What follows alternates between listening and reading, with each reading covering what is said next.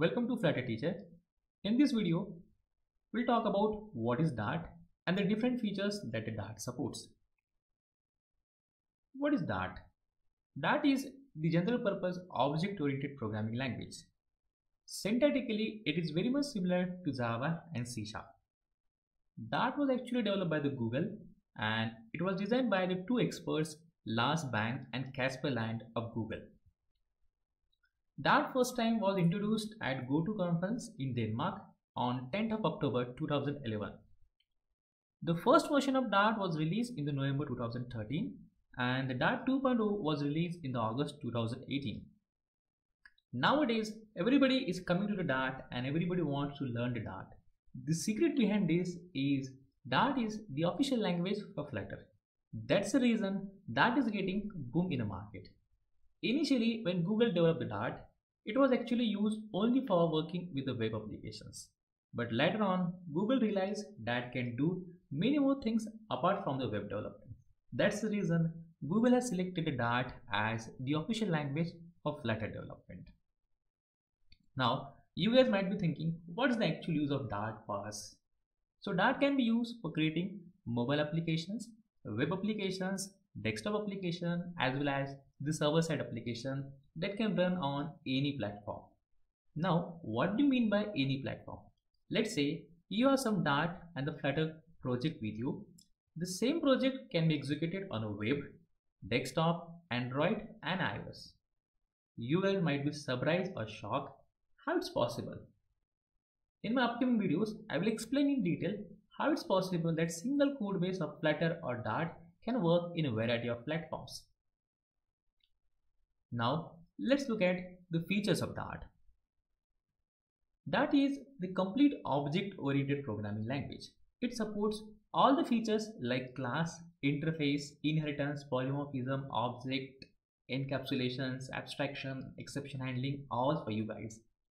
In Dart, even a single variable and a method that you create is an object.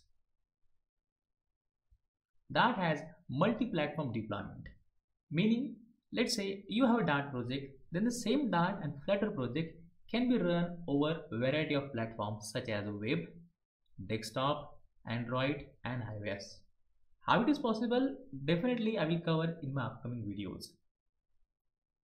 If you are a person from Java, you might have heard about the multi-threading. Unfortunately, Dart has no multi-threading. It's a single threaded language. Instead of that, Dart supports asynchronous programming. In my upcoming videos, I will explain in detail what is asynchronous programming, how to perform that one using async, await and future concepts. Only for this video, just understand that using asynchronous programming, it's possible to run multiple tasks of the program without blocking your UI. Dart has an extensive set of libraries. When you install the Dart SDK or Flutter SDK, you will get the built-in libraries like Core, Async, HTML, IO, Math, and so on. Apart from this, pub.dev is the official website for Dart and Flutter libraries, where you can find huge set of libraries for Flutter development. Dart is a platform independent.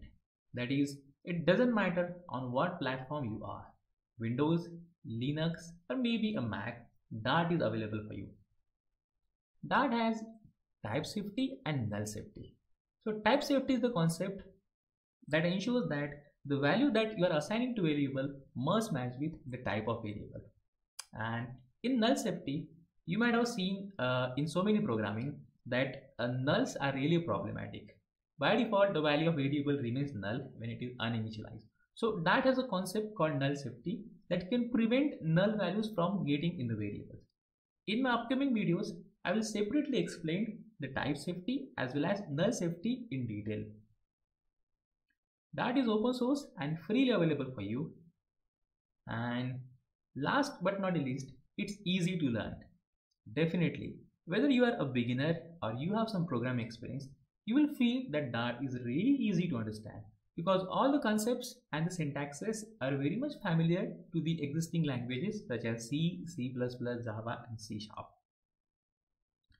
That's it for this video. See you guys in the next video where we'll talk about how Dart works in the development and the deployment environment.